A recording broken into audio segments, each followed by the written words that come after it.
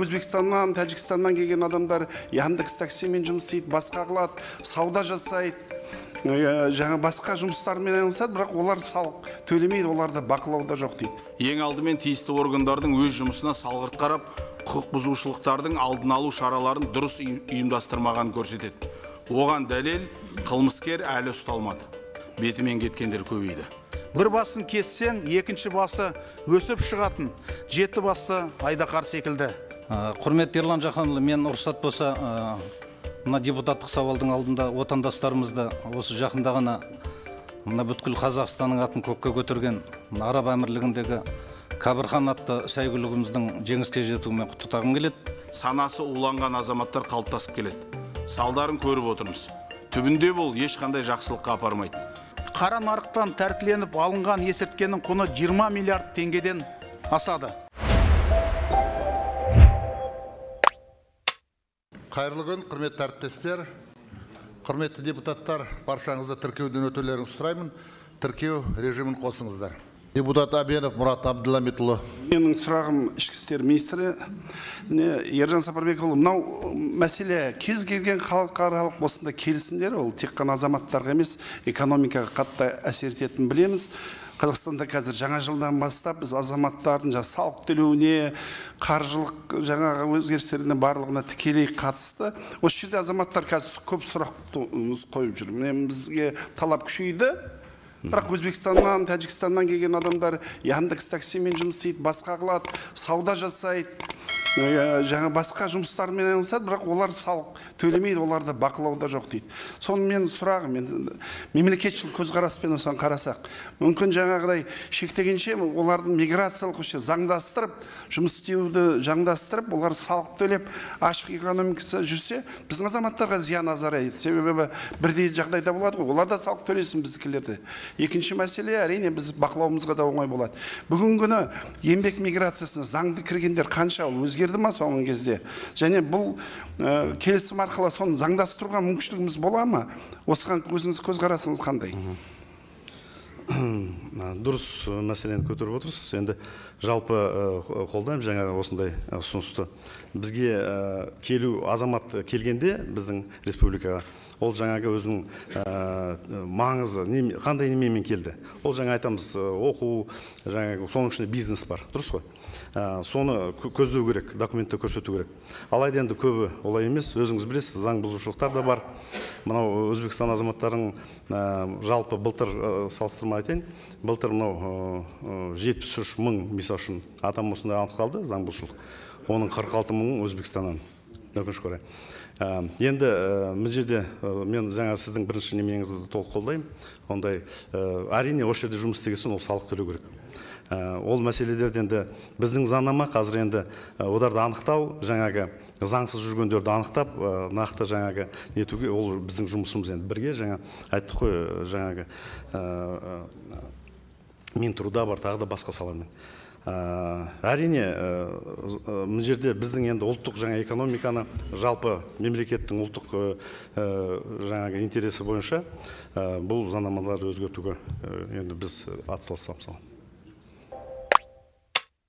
Сөз заңнама және сот құқықтық реформа комитетінің төрайымы депутат имашева снежанна валерьевнаға беріледі. Құрметті ерлан жақанұлы құрметті әріптестер аталған заң жобасы қызметтік қару және патрондарды қолданатын субъектілерге мемлекеттік бақылауды жүзеге асыру мақсатында әзірленді.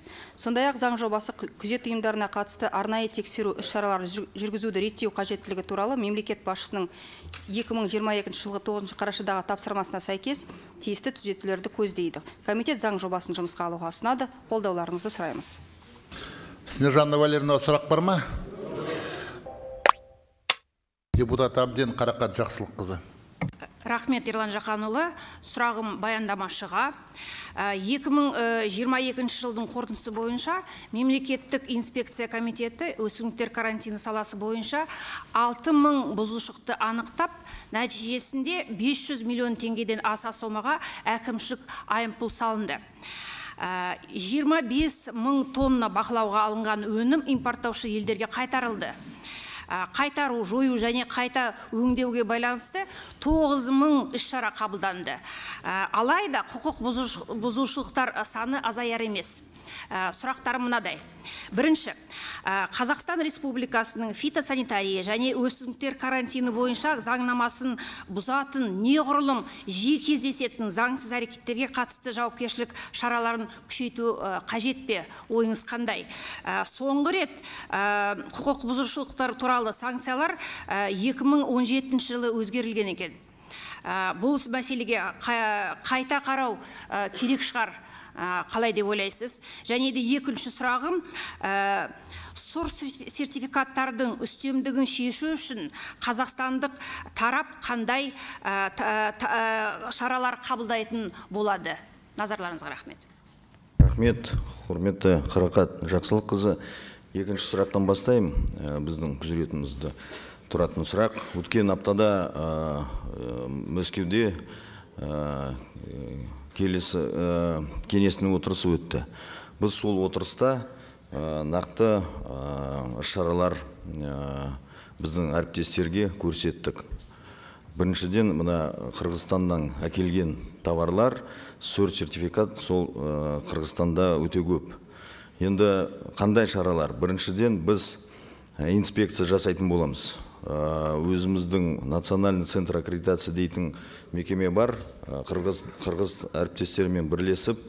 Ә, бізде ә, мына ненің тізім бар. Қандай ә, орган по сертификации дейтін мекемелер қандай ә, сондай ә, сөр сертификаттың көбісі берілген. Оларды тексеретін боламыз. Немесе ә, мына іс шаралар ешқандай нәтиже бермесе біз ә, мен өзім үкіметке ұсыныс енгіземін. Біз қаулы үкіметтің қаулы қау- ә, қолданатын бола- аламыз. Біз мына сондай сертификаттың қазақстанға кіргізбейміз. Бір, бір сертификат. Барьер болсын бізге ә, жалоба болсын қырғыз әріптестерімізден. Бірақ осындай ол енді соңғы не ә, шара ғой енді болмаса. Ос- осындай. Ә, бірінші сұрақта менің әріптесім қосымша баяндама айтып, айтып береді. Бірақ менің өзім ә, пікірім ә, осындай ә, жауапкершіліктің ә, жаңағы әкімшілік кодекс болса басқа болса онда күшейту керек. Рахмет. Жақсы рахмет. Депутат әбенов мұрат әбділәмитұлы. Менің сұрағым осы мынау алпыс бірінші бап бойынша мынау тұтынушылардың құқығын қорғау ә, келісімді шаралар қабылдау деген жазылды енді бұрыннан бері бар екен бұл нормалар.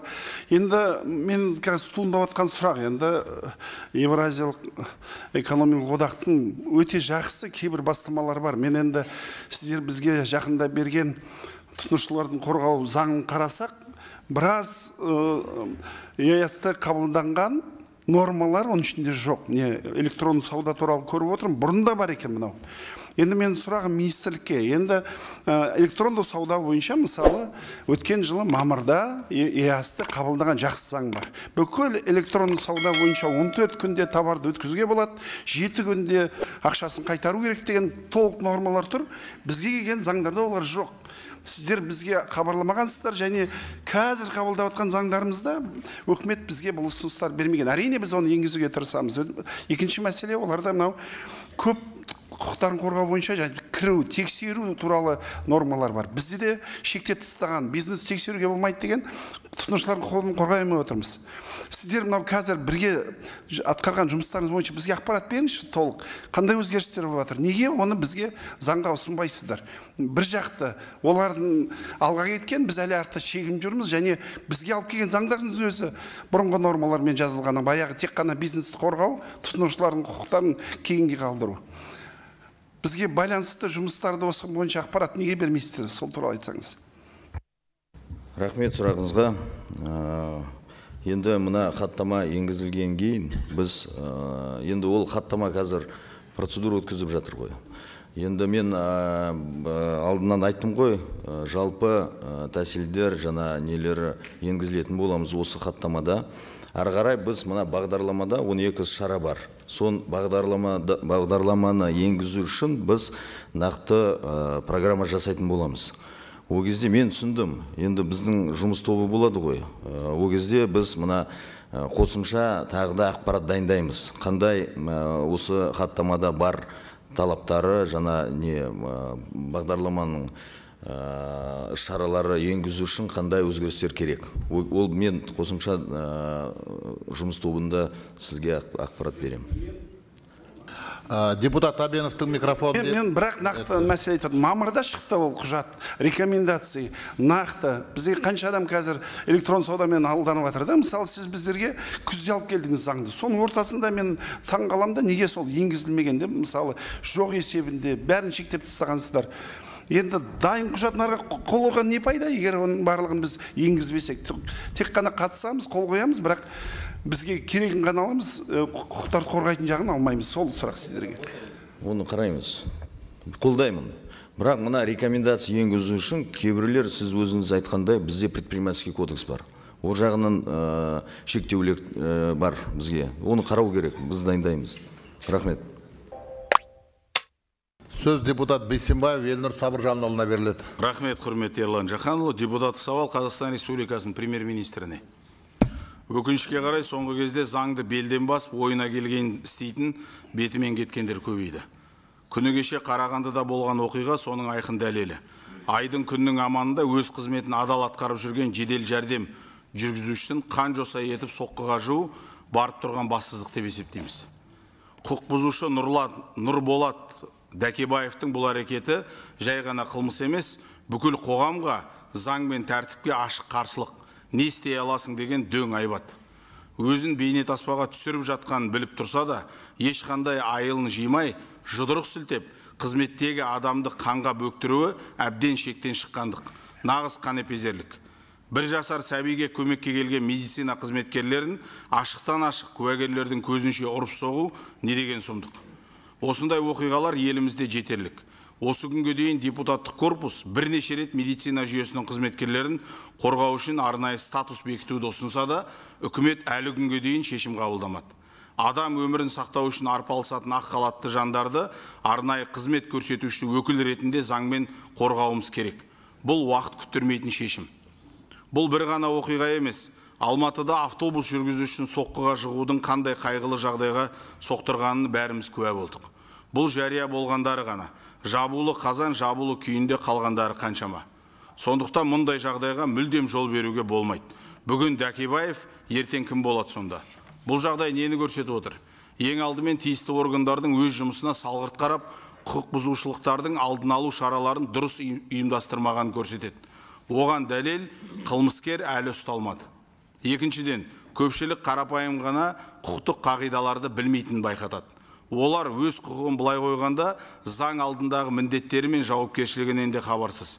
Заң мен тәртіп бәріне бірдей қағидатын ұстану әрбіріміздің міндетіміз.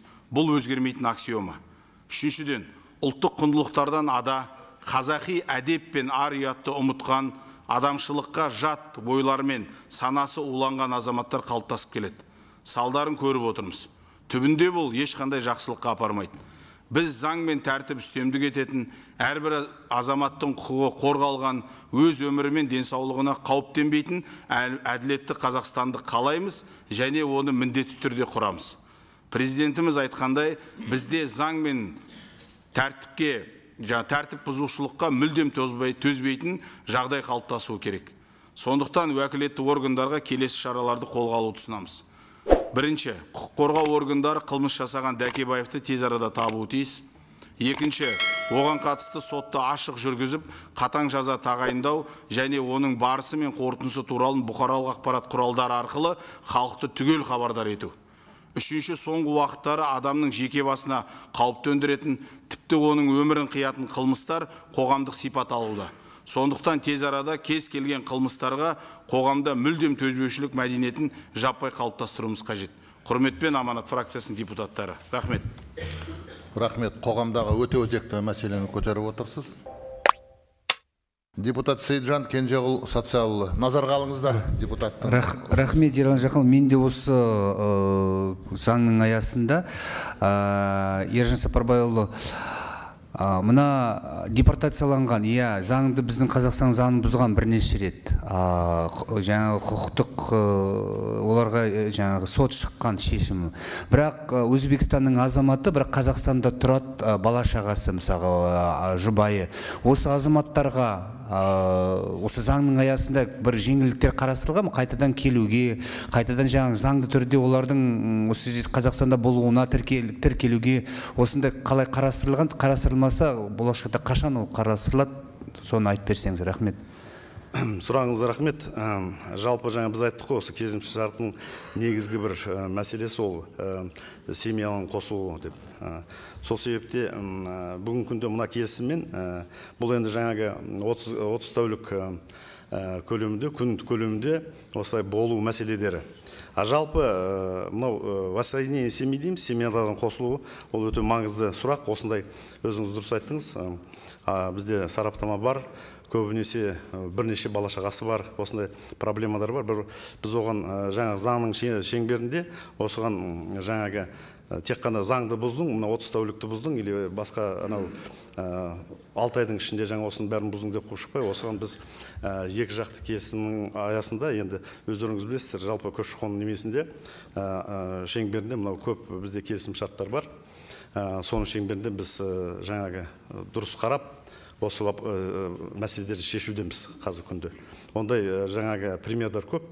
Ә, дұрыс айттыңыз. Осыны ә, әрине ә, кейбір мәселелер мысалы үшін жаңағы заң бұзушылық ол кісі, кісі өлтіргенде жаңағы либо ә, сол басқа шетелде мына в данном случае жаңа айтамыз ғой өзбекстанда ә, жаңағы іздеуде жүрісі деген секілді ол енді ә, қылмыс осы мәселені қараймыз. Жалпы ұсыныс дұрыс енді. Былай жан жақты көруге болады. Рахмет. Құрметті депутаттар сонымен сұрақтарымыз аяқталды. Ержан сапарбекұлы рахмет орныңызға отырыңыз. Қосымша баяндама жасау үшін сөз заңнама және сот құқықтық реформа комитетінің мүшесі депутат дементьева наталья григорьевнаға беріледі. Рахмет құрметті ерлан жақанұлы құрметті әріптестер. 2000 жылғы 7 шілдедегі қазақстан республикасының үкіметі және өзбекстан республикасының үкіметі арасындағы азаматтардың өзара сапарларының шарттары туралы келісімге өзгерістер енгізу туралы хаттаманы ратификациялау туралы үкімет ұсынған заң жобасын бас комитет қарап шықты. Екі ел арасындағы бұл хаттама 2022 жылғы 22 желтоқсанда Ташкент қаласында жасалды. Заң жобасының басты ережелері жөнінде жаңа ғана ішкі істер министрі ә, толыққанды баяндады. Хаттаманы ратификациялауы бір тарап мемлекеті азаматтарының мемлекеттік шекараны кесіп өткен сәттен бастап күнтізбелік 30 күнге дейін тіркеусіз екінші тарап мемлекетінің аумағында болуы үшін қолайлы жағдайлар жасауға мүмкіндік беруге бағытталған. Қазақстан Республикасының халықаралық шарттары туралы Қазақстан Республикасы заңның 11 бабының бірінші және екінші тармақшаларына сәйкес хаттама ратификациялауға жатады. Заң жобасы бойынша парламент мәжілісінің барлық комитеттері оң қорытындыларын берді. Уәкілетті мемлекеттік органдардың қатысуымен бас комитеттің отырысы және жұмыс тобы өткізілді. Осыған орай құрметті әріптестер бұл заң жобасын қабылдап, парламент сенатының қарауына жолдауды ұсынамыз. Қолдауларыңызды сұраймыз. На- Назарларыңызға рахмет. сөз депутат тұрлыханов дәулет болатұлына беріледі рахмет ерлан жақанұлы біздің депутаттық сауалымыз қазақстан республикасының премьер министріне жолданады. Құрметті әлихан асқанұлы бүгінгі таңда ең өзекті міндеттердің бірі нашақорлық пен есірткі қылмысының алдын алу және қоғамда есірткіге мүлде төзбеушілік мәдениетін қалыптастыру. Қоғамның қатерлі дертіне айналған бұл проблемаға ел президентінің өзі бірнеше рет арнайы назар аударды. Атап айтсақ былтыр түркістанда өткен ұлттық құрылтайда қасым жомарт кемелұлы тоқаев нашақорлық бұл ұлт саулығына зор қауіп төндіретін кесел. Есірткі жастардың жанын да тәнін де улап жатыр. Біз есірткіні қолданудың дайындаудың және таратудың жолын кесіп тамырына балта шабуымыз тиіспіз. Әйтпесе бүкіл еліміздің болашағы бұлыңғыр болады деп атап айтқан болатын. Мемлекет басшысы таяуда өткен ішкі істер министрлігінің кеңейтілген алқа отырысында осы мәселеге тағы да тоқталып есірткінің таралуына қарсы күресті күшейтуді талап етті. Аурун жасырған өледі деген. Жасыратыны жоқ синтетикалық есірткі еліміздің әр қаласында сәт санап тарап жатыр. Ақпарат құралдарынан есірткіні таратушылар мен тұтынушылардың ұсталып жатқаны туралы хабардармыз. Мәселен 2023 жылдың қорытындысы бойынша елімізде есірткіге байланысты жеті мың қылмыс тіркелген. Бұл өткен жылмен салыстырғанда он пайыздан артық. Ал соңғы бес жылда тәркіленген синтетиканың саны жүз есеге өскен. Былтыр қара нарықтан тәркіленіп алынған есірткенің құны 20 миллиард теңгеден асады. Бұл қолға түскені ғана ал мұның сыртында айналып жатқаны қаншама? Бұл сұмдық емес пе? Көрсетілген цифрлар елімізде есірткінің тамыр жайып белең алып кеткенін көрсетеді. Тым қорқынышты көрсеткіш. Бұлай кете берсе елдігімізге қауіп төндіреді. Бұл нағыз дабыл қағарлық жағдай. Таяуда еліміздің жас жігіттері түсірген меф фильмінде еліміздегі қазіргі шынайы жағдай көрсетілген. Әрбір клубта әрбір ортада есірткі таралуда.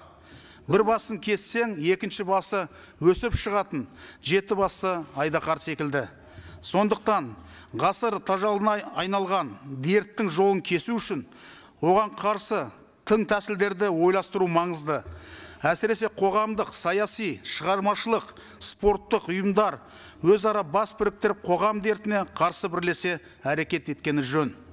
Бұл іске қалам ұстаған журналистер мен жазушылары көп блогерлер де жастар арасында беделді қоғамдық пікір көшбасшылары да атсалысқаны дұрыс. Құрметті әлихан асханұлы осыған байланысты сізден барлық мүдделі өкілетті жергілікті атқарушы органдарды тарта отырып есірткіге қарсы күреске жұмылдыруды сұраймыз. Мемлекеттік деңгейде ұзақ мерзімді әр қадамы пысықталған жүйелі бағдарламаны дайындап президенттің тапсырмасына сәйкес қатаң қадағалауды сұраймыз. Бұл ретте заңнамалық өзгерістер құқық қорғау әлеуметтік экономикалық медициналық насихаттық және әкімшілік сипаттағы кешенді шараларды қолға алған жөн. Құрметпен аманат партиясы фракциясының мүшелері. Назарларыңызға рахмет. Сөз депутат депутат сәдібеков ұласбекке беріледі. Рахмет құрметті ерлан жақанұлы Ә, құрметті ерлан жақанұлы мен рұқсат болса ә, мына депутаттық сауалдың алдында отандастарымызды осы жақында ғана мына бүткіл қазақстанның атын көкке көтерген араб әмірлігіндегі кәбірхан атты сәйгүлігіміздің жеңіске жетуімен құттықтағым келеді. Бұл мен ойлаймын өз кезегінде қазақтың ұлттық спортын дамытуға өз септігін тигізеді ғой деп ойлаймын. Депутаттық сауал ә, премьер министрдің бірінші орынбасарына бағытталады. Құрметті роман васильевич ә, сіздің назарыңыз төмендегі екі мәселеге аударғым келеді. Біріншісі түркістан облысы сайрам ауданына қарасты қарабалақ ауылы еліміздегі ең үлкен ауылдық округтардың бірі. Қазіргі таңда онда алпыс мыңнан астам тұрғын бар мыңнан астам кәсіпорын жұмыс істейді. Сондай ақ қарабұлақ ауылы елімізді етпен қамтамасыз етіп отырған елді мекеннің бірі. Мұнда жылына отыз алты мың тонна ет ел аумағындағы сауда орындарына жіберілсе үш мың тоннадан астам ет экспортталады. Ауылдың инфрақұрылымы жылдан жылға жаңарып келеді. Дегенмен ауыл тұрғындарын таза ауыз сумен қамтамасыз ету мәселесі әлі күнге шешімін таппай келеді.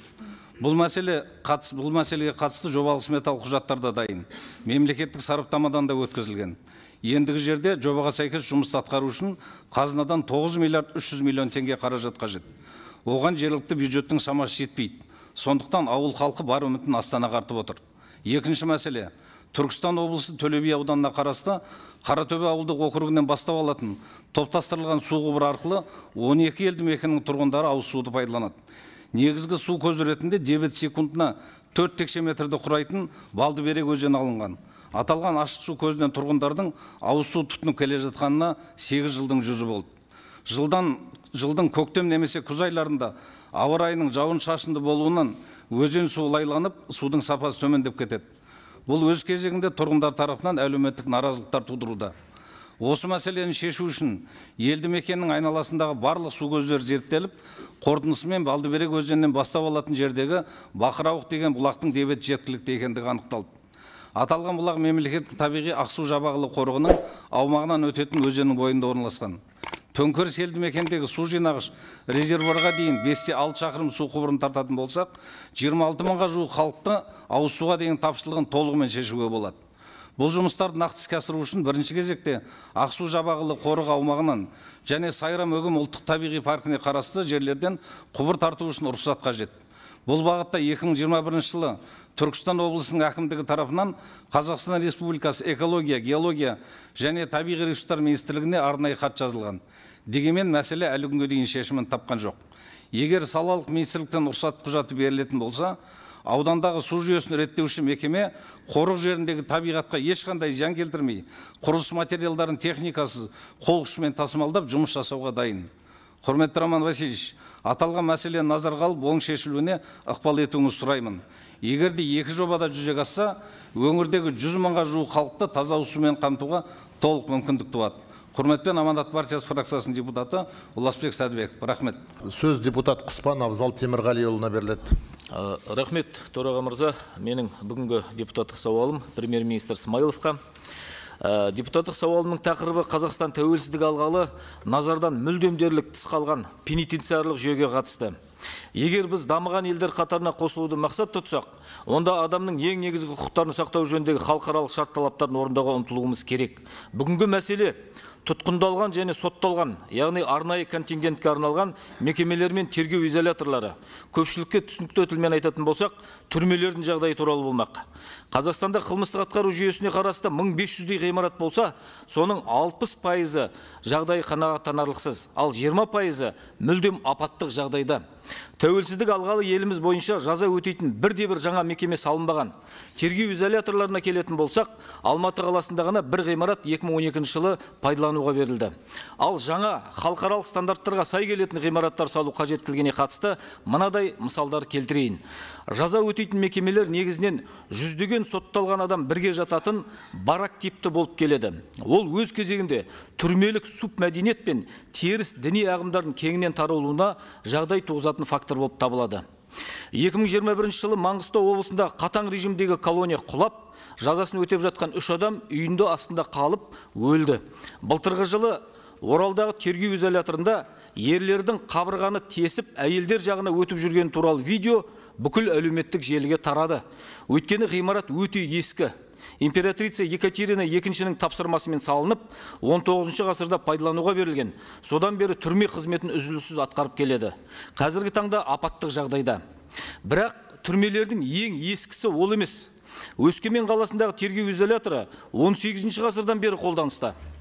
Асылы бұлар түрме емес әлде қашан музей қызметін атқаратын ғимараттар. Орал қаласында бұдан 11 жыл бұрын мемлекеттен қаржы бөлініп 23 гектар аумақта жаңа тергеу изоляторының құрылысы басталған болатын. Алайда орта жолдан жергілікті прокуратура құрылысы аяқталмаған объектіден бір жарым миллиардқа шығын тауып компанияның атқарушы директорын соттап нәтижесінде құрылыс қаңтарылып қалды. Соның салдарынан енді аяқталмаған құрылысты аяқтау үшін бюджеттен қосымша тағы да шамамен 6-10 миллиард төңірегінде қаражат керек. Себебі құрылыс нысаны осы он шақты жыл көлемінде тозып әрі тоналған. Бірақ қалай болғанда да жаңа тергеу изоляторының құрылысын аяқтау қажет. Себебі патшалық ресей кезінен келе жатқан ескі изолятор апаттық жағдайда одан басқа батыстың төрт облысының тұрғындар жазасын өтейтін қауіпсіздігі жоғары мекеме елді мекен ішінде заңсыз орналасқан. Еліміздің астанасында да жағдай оңып тұрған жоқ. Қаладағы үкімет министрлік үйлерін айтпағанда барлық мемлекеттік органдарға әдемі ғимараттар салынып пайдалануға берілді. Алайда пенитенциарлық жүйеге көңіл бөлінбеді. Жаңа жыл алдында бір топ депутат болып тергеу изоляторына бардық. 1975 жылы пайдалануға берілген ол ғимараттың тозуы 85 процентті құрайды. Ол әу баста түрме ретінде арнайы салынбаған бейімделген. Сыйымдылығы 600 адамға арналған болса біз барған күні қамауда 696 тұтқын отырғанының және мекеме әкімшілігі тұтқындарды қабылдамай басқа қалаларға жолдап жатқан жағдайдың куәсі болдық. Себеп біреу орын жетпейді. Осы жерде айта кету керек астаналық тергеу изоляторында бір кездегі үкімет мүшелері үш экс министр қамауда. Оларға ешқандай артықшылық берілмеген көпшілікпен бірдей жағдайда отыр. Жалпы мен өзім және мәжілістегі басқа да әріптестермен бірге былтырдан бері қазақстанның біраз өңірін аралап ондағы түрмелердің жағдайымен жеке таныстық. Тек қана қызметкерлермен кездесумен шектелмей қамаудағы азаматтарды да қабылдап олардың арыз шағымдарын пікірлерін тыңдадық. Нәтижесінде қылмыстық атқару жүйесіне үкімет деңгейінде назар аудару қажет деген қорытындыға келдік. Құрметті әлихан асханұлы осы депутаттық сауалым арқылы сізден қылмыстық атқару жүйесіне қарасты нысандардың материалдық техникалық жағдайын жақсартуға үкімет деңгейінде көңіл бөлуіңізді сұраймын. Жаңадан салынуы тиіс. Немесе күрделі жөндеуді қажет ететін нысандар қажетті қаражат және олардың кезектілік реті туралы мәлімет осы депутаттық сауалыма қоса ұсынылатын талдау материалында егжей тегжейлі баяндалған. Рахмет. Құрметті әріптестер сонымен депутаттық сауалдарды жария- жариялап болдық. Мәжілістің жалпы отырысын жабық деп жариялаймын. Рахмет сау болыңыздар.